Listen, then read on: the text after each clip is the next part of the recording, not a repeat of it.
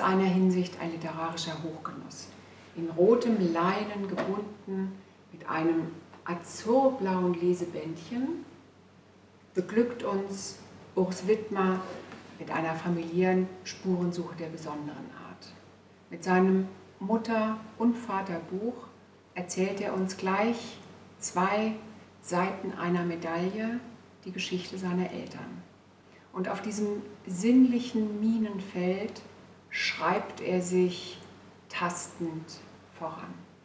Das ist ein Buch über Kunst, Musik, Leidenschaft, Passion, über die wirren Zeiten des vergangenen 20. Jahrhunderts und vor allem immer wieder über die Suche nach dem ganz, ganz großen Glück.